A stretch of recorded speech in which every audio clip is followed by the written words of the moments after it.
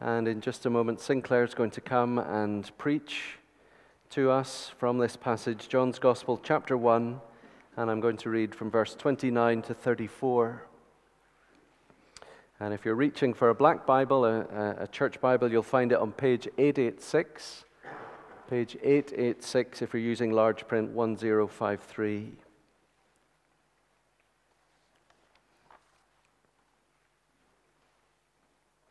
Last week, Sinclair, Sinclair gave us the passage before this, the day before he came, and this evening, the day of the Lamb.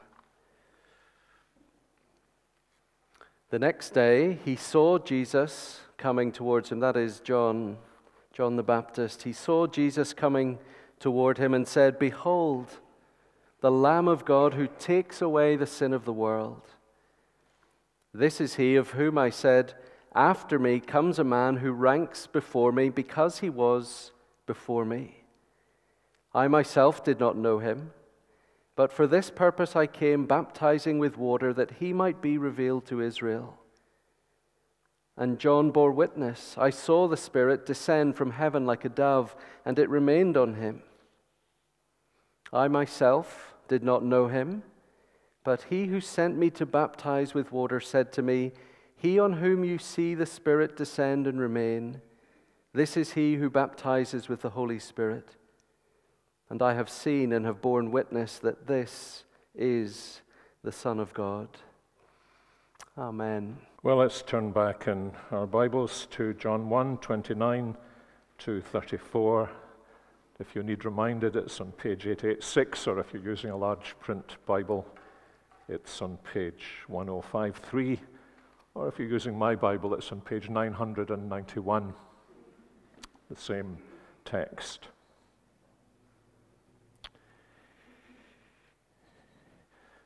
Our series, uh, if you were here last Sunday, you may remember, is called A Week in the Life of.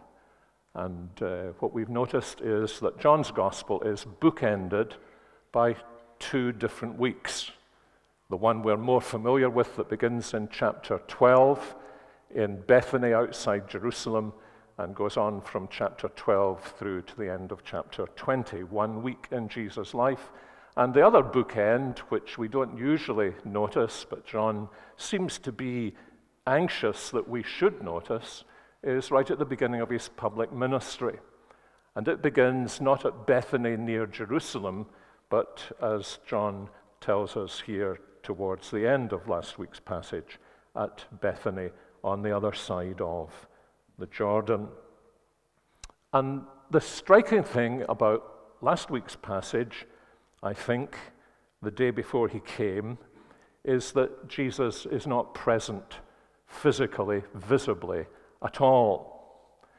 But John the Baptist's message is I am not about me, I am about him.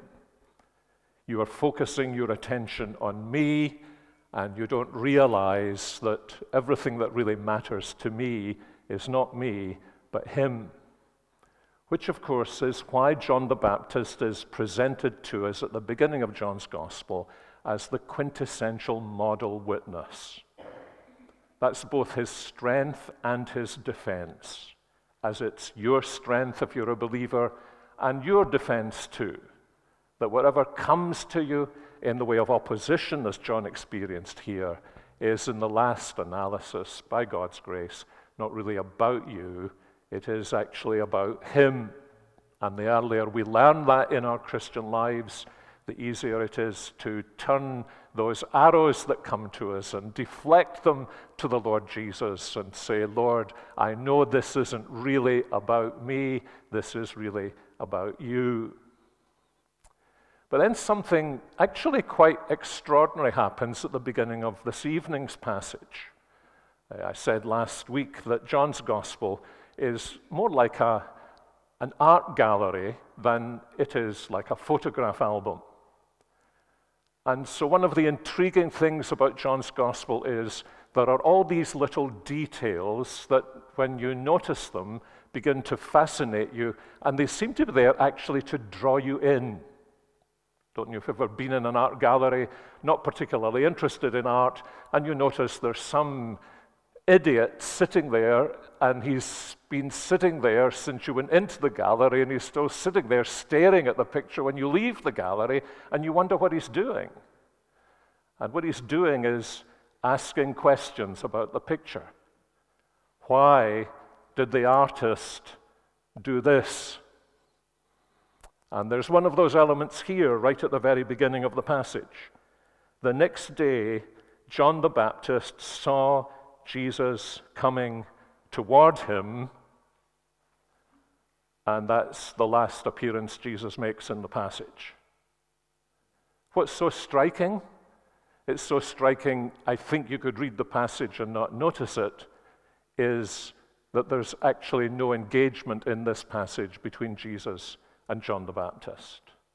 The very thing you would expect, in a sense, the very thing you want this first public conversation after Jesus' baptism between John the Baptist and Jesus, and there's no conversation at all.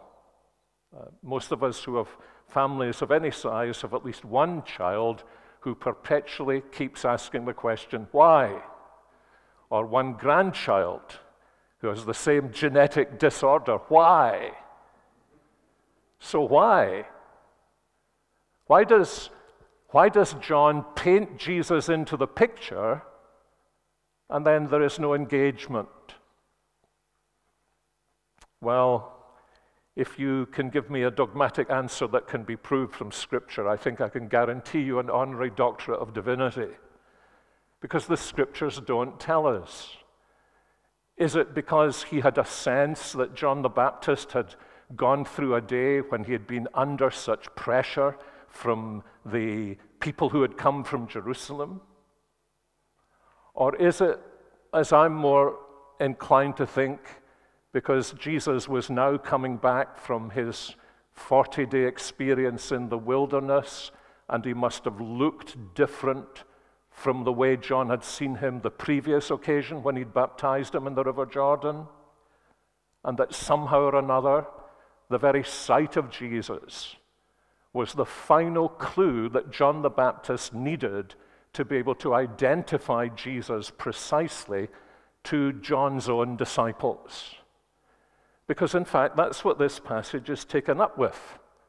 Uh, John the Baptist doesn't even address Jesus, he addresses those who are presumably his disciples with this extraordinary pronouncement Look, he is the Lamb of God who takes away the sin of the world. Now, I think if we're to get hold of this passage, we need to understand that this passage, like some other passages in Scripture, actually works the other way round. So that verse 29 is actually the conclusion to a series of insights that John the Baptist has had. And what follows in verses 30 through 34 is John's explanation to his disciples of how it is that he has reached this conclusion about Jesus. So the passage begins with Jesus' conclusion, with John's conclusion about Jesus, and then goes on to John's explanation of how it was he came to this conclusion about Jesus. So, what I want to do is to follow the chronology of the passage rather than the order of the verses, so that, first of all, we can see into John's mind as he thinks about Jesus, in order to be brought at the beginning of the passage in verse 29 to look through John's eyes to see Jesus as he really is. And if we do that, I think we'll notice that several things are happening in this passage. One is that John speaks about his vocation to be the forerunner to Jesus. The second is what he then goes on to explain in terms of how he came to a recognition of who Jesus really is. And that in turn leads, thirdly, to, in verse 29, the way in which he proclaims Jesus to be the Lamb of God who takes away the sin of the world.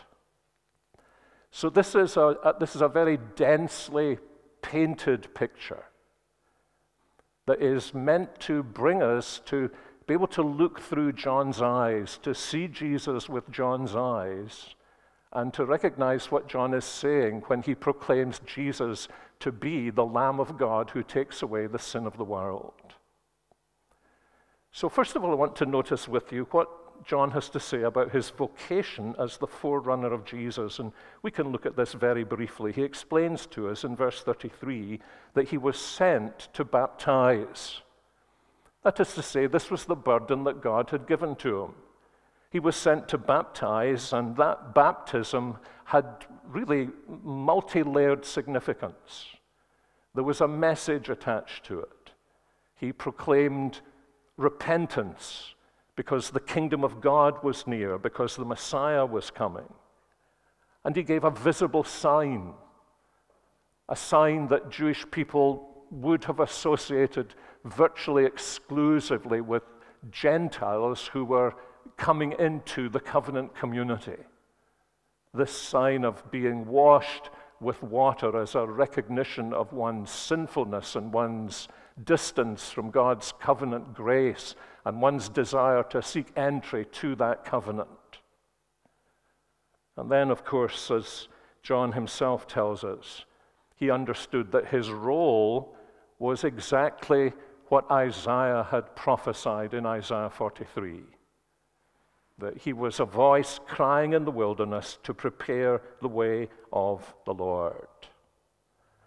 And so, what he's saying here is that it was his anticipation that through this ministry, in a way he was not yet absolutely clear to whom he was pointing, the one that God had promised through the ages as the Savior of his people, would be identified. And it's very difficult for us, I think, to take in the sense of privilege and burden that must have been to John the Baptist. The sense he must have had that he was, in that sense, absolutely the last, the climax of all the Old Testament prophets and their prophecies right back to the prophecy that had been given in the Garden of Eden that one would come to crush the head of the serpent. And that now he was standing on the mountaintop looking over. And as he tells us, he's still not sure exactly who it is that's going to come. By which I think he means not that he didn't know Jesus at all, although that's possible. I remember how when uh, John begins his ministry in Luke's account, we're told that he actually came out of the desert into the beginnings of this ministry. And so it's altogether possible that for these 30 years or so of John's life, he and Jesus had never met. But he probably doesn't mean, I didn't know Jesus. What he's more likely to have meant was, I did not know who it was going to be. But then, in the middle of these baptisms, I recognized by the indications God gave that the person who was the coming one was, in fact, Jesus. And that my whole ministry, in a sense, was now come to a climax, almost to an end to be able to point to him and to say to him, I am the voice crying in the wilderness to prepare the way of the Lord, and my work is now done, because the Lord himself has come and appeared to be the Redeemer of his people. So, this is the way in which John sees his vocation. But then, at a little greater length, we need to notice what John has to say about the way in which he comes to a recognition of Jesus' person. He believes that through this ministry, Jesus is going to be revealed. But the question for John is, as it would be for you, how, Lord? How am I going to know? And he explains to his disciples the, the pattern of revelation and illumination that went through his mind that enabled him to say when Jesus was baptized, This is the one. And what he says has got to do with the coming of the Spirit, you'll notice.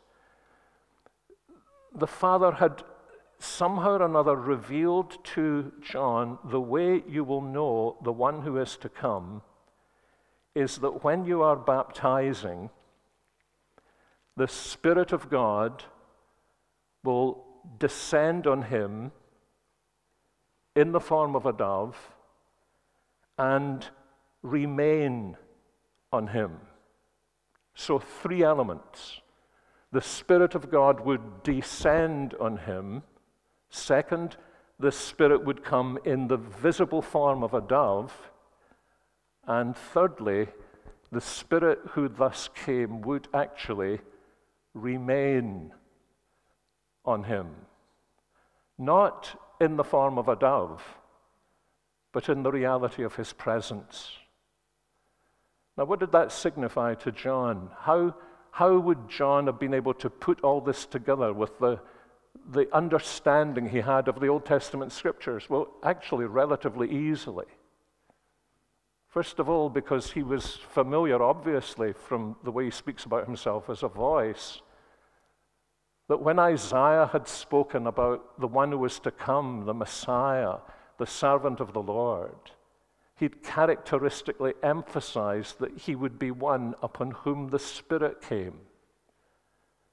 So in Isaiah chapter 11, when he is prophesied, the message is that the Spirit will come and rest upon him. And when later on in Isaiah 42 we have the first presentation of the coming Savior as the servant of the Lord, the hallmark of his ministry, his service, is that the Spirit of the Lord will be upon him. And that will be manifested in the whole of his character and in his pattern of speech. And then towards the end, in the words that Jesus you remember, expounded in the synagogue at Nazareth. What would be true of the coming one would be that he would be able to say, The Spirit of the Lord is upon me, because he has anointed me to preach good news to the poor. So, this was unlike any other baptism that John had ever administered. You'll know him because the Spirit will come upon him. But Lord, how will I know the Spirit has come upon him? Answer the Spirit will come, John understands, in the form of a dove. Now, we've no explanation of this, and I guess actually the reason we've no explanation is because John assumed his readers would understand. There's so much in John's gospel that is like a mosaic of Old Testament scriptures. Just like the book of Revelation is a kind of mosaic of Old Testament scriptures, he, he thought, he saw in terms of, of the Old Testament scriptures being the lenses through which he viewed the Lord Jesus Christ. And I think that indicates to us the, the one great event in the Old Testament that most of us associate with the coming of a dove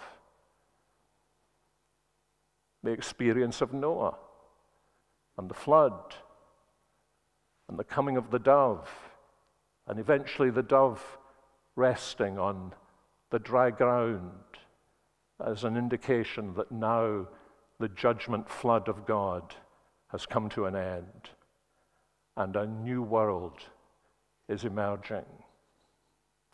That's a very significant thing because uh, you may remember when, when Noah was born, his father, a man by the name of Lamech, deliberately chose the name Noah because the name Noah, as those little footnotes that as you get older get too small to read at the bottom of your Bibles, as most of our modern Bibles tell us, that the name Noah sounds like the Hebrew word for rest. We're calling him Noah because we hope this is the one who will bring rest. What was he talking about? He was talking about Genesis 3:15, about the promise of the one who would end the dominion of the serpent and bring into being a new order of reality in his kingdom and in his triumph. And Eve had hoped that her son, her firstborn son, might have been that deliverer, but no. And now Lamech, Noah's father, who holds on to that promise, is saying, perhaps our son is the son that God is going to give who will bring rest. And the amazing thing is that Noah does bring rest, doesn't he? The judgment of God falls, the flood comes, the world is baptized, actually baptized by sprinkling that becomes a kind of immersion, except for the little family and their animals in the ark who are preserved as the judgment of God falls on them and all around them. And then, when the judgment is ended, the dove goes out, and eventually the dove will not return. And what's really interesting about the Noah story is that when Noah emerges, there are two things very obvious about him. Number one is that God has made a new covenant with him.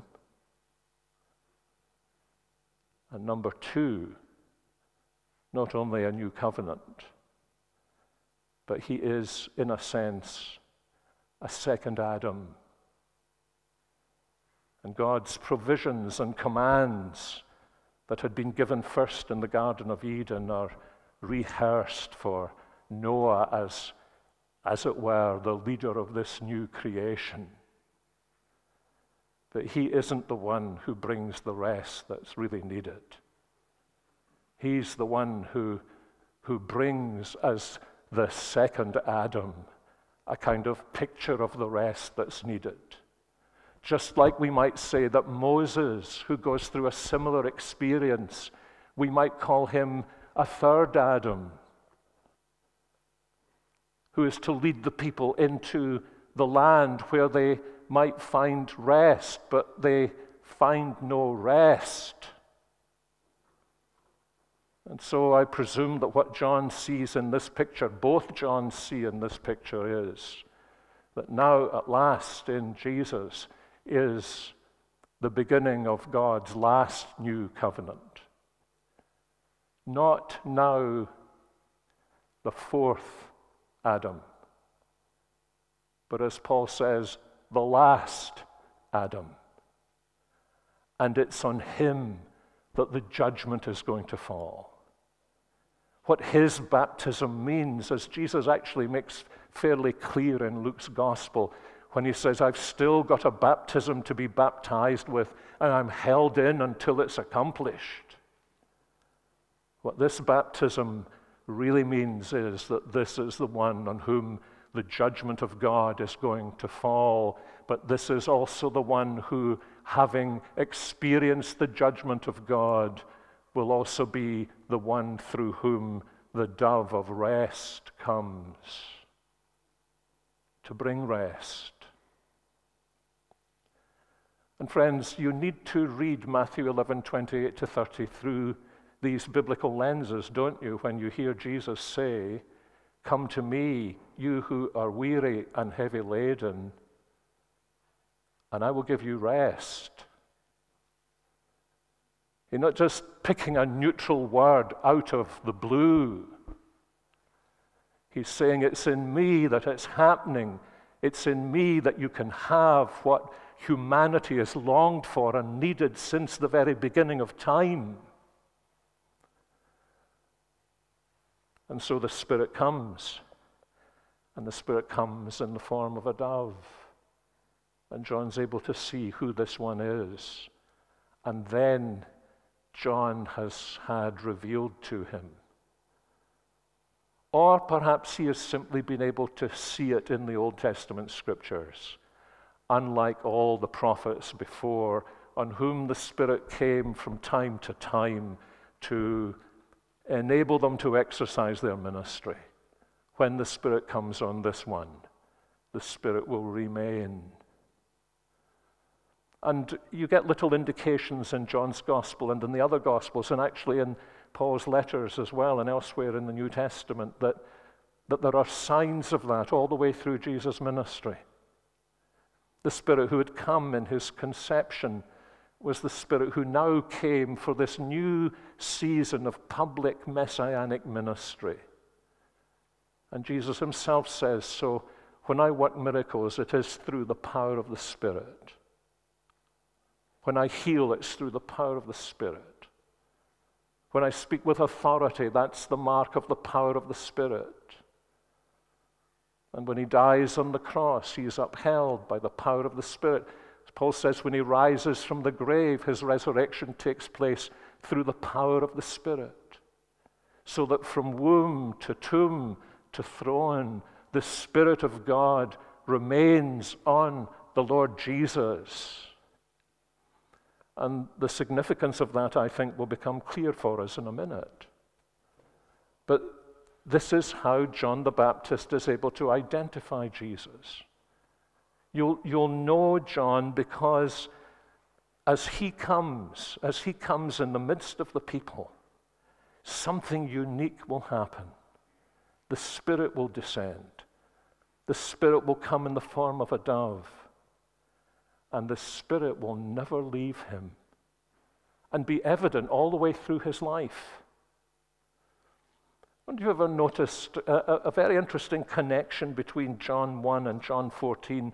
But when Philip says in the upper room to Jesus, Jesus, just show us the Father, and that's, that will be enough for us. And Jesus says, Philip, how can you have been with me this long without understanding he who has seen me has seen the Father. He's not confusing himself with the Father, is he?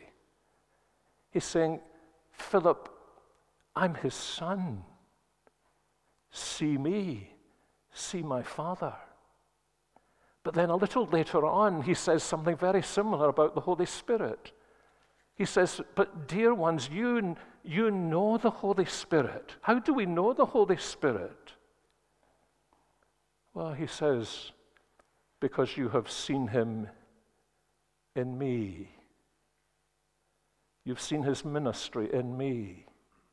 It's just a little indication right at the end of Jesus' ministry that what John had been told at the beginning of Jesus' ministry had actually been so true. Jesus himself could say to his disciples, You've actually seen the proof of what John the Baptist said about me that the Spirit who descended from heaven onto my life in the form of a dove, that Spirit has been my constant companion throughout my life. And John also is given some insight into what the implication of that is going to be, not only for Jesus, but also for ourselves. And so he sees the Spirit on Jesus. And it's as he puts all of these things together. If we can put it this way, as, as the divine optometrist crafts the prescription for John's lenses, like at first sight, it seems he's, he's combining a welter of Old Testament scriptures until eventually those scriptures all seem to be able to fit into a pattern. And John is able to say, Oh, now I see it. He's the Son of God. He, he remembered, didn't he? He remembered the voice that had come from heaven that said, This is my Son. That's who he is. He is none other than the Son of God. And this that comes right at the end of the passage is actually the beginning of his proclamation. He's the Son of God. And John has prepared us for that, hasn't he? Earlier on in the passage, he said, First of all, I need to tell you who this is that we're going to be thinking about here. He's the Word who was face to face with God. like a father looking into the eyes of his son, a son looking into the eyes of his father. And he's come into the world, this son, in order that those who receive him might become the children of God. So he's the Son of God. And then you see, in addition to being the Son of God, John tells us something else about him, something I think just as remarkable about him. And that is that he's not only the one who bore the Spirit from his baptism to his resurrection, he's the one who, after his resurrection, will bestow the Spirit on his people. This one on whom you see the Spirit descend in the form of a dove and remain, this is the one who will baptize you, not with water as I do. He will baptize you with His Holy Spirit. You need to see the picture. Um, it's obviously not clear. How did John administer baptism? The one thing we can be sure of is that somehow or another he got the water over the baptized. And that's what he's saying about Jesus. But what he's saying about Jesus is that when he baptizes, it won't be with water. What he will give will be his own Holy Spirit. And friends, this is, this is to me one of the great mysteries of the gospel and the Christian life, as well as one of the great explanations of why we are the way we are as Christians and why we are the way we are as a living church. Because it's this that every single individual the Lord Jesus baptizes with his Holy Spirit, he baptizes with one and the same Holy Spirit. The Holy Spirit who in these years was upon him is the very Spirit that He pours out upon you. That's why we're closer to one another than many of us may be, even to our own flesh and blood, because there is something within us by God's grace that, in that sense, is thicker than native blood. It's the same Holy Spirit. I, I cannot do the mathematics. I cannot understand the mystery. But I can experience the reality that in this room, if there are 90 or 100 of us in this room, there are not two different Holy Spirits, Jesus' Holy Spirit and the one we share. Nor are there a hundred different Holy Spirits, each of us possessing our own, but one and the same Holy Spirit the Holy Spirit who was on the Lord Jesus. That by his grace he comes in the gospel to share with us. I've thought long and hard about the fact that if I treated my fellow Christians with that thought in the lenses through which I viewed them, I would treat them with a sense of awe and gentleness, love and devotion that this is a brother a sister, a spiritual father or mother, or son or daughter, in whom the very same Spirit dwells as dwells in me. More than that, in whom the very same Spirit dwells as who came to dwell in our blessed Lord Jesus Christ. And as John begins to put these together, and you notice that much of this is drawn from the prophecy of Isaiah. It's almost as though his mind works on through the prophecy of Isaiah, and he says, Now I've got it. Now, now I can put it together. This Son of God, who is the true and final Noah, who baptizes with the Holy Spirit, is none other than the Lamb of God who will take away the sin of the world. And of course, among the passages that may have been in his mind, I think there is no doubt that in his mind is Isaiah 53. The servant of the Lord who was led as a lamb to the slaughter. The servant of the Lord who was wounded for our transgressions and bruised for our iniquities, upon whom was the chastisement that would bring us peace, with whose stripes we would be made whole. That's what that finger means when it points his disciples to Jesus. And John the Baptist says, Just look. That's all you need to do. Just look. Because he is the Lamb of God who takes away the sin of the world. And you know, if you, if you try and take in this whole picture, the baptism and what John the Baptist is saying here, and stand back as though you were in an art gallery and you were looking at a frieze of these extraordinary moments in John the Baptist's life, what would you see? There's a very interesting detail that Luke gives us. He says, John the Baptist was baptizing many days, but there was only one day Jesus came. And it seems he came at the end of the day. It's fascinating. Luke says, when everyone else had been baptized, then this one came. Now just sit in the art gallery and look at that. What do you see? You see a river Jordan John the Baptist has been pouring cleansing water over multitudes of sinners so that symbolically their sins would be washed into the River Jordan. And now, at the end of the day, when all the sins are symbolically there,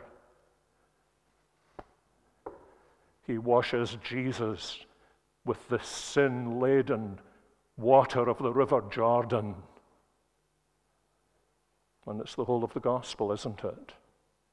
He was wounded for our transgressions, He was bruised for our iniquities. The chastisement that was upon Him was to bring us peace. It's with His stripes that we are healed. You could almost see those words underneath the frieze. Viewer, if you seek the meaning of this picture, behold the Lamb of God taking away the sins of the world. It would be marvelous if we had a baptism tonight, don't you think, after all that? But the great thing is, that sign and this sign, yes, they have two slightly different meanings, but they present one and the same Savior. And this one, as much as that one, bids us to use our eyes and to see, and to see through and beyond the signs to the Lamb of God takes away the sin of the world. Friends, He's everything. He's the Son of God who has come to bring us into the family of God. He's the giver of the Spirit of God in order that we might begin to live the life of God. And He's the Lamb of God so that all our guilt, all our shame, all that gnaws our consciences might be drowned forever in his baptism. So let's come and behold the Lamb of God who takes away the sin of the world. Let's pray. Our Heavenly Father, we thank you tonight for giving us the Lord Jesus. We pray that you would open in our hearts eyes of faith to see him as he is, to behold him. Focus our gaze, we pray, in these coming moments on him alone, that we may love him better that we may trust Him with greater confidence, that we may live the new life for His glory. Forgive our sins, Lord Jesus, we pray.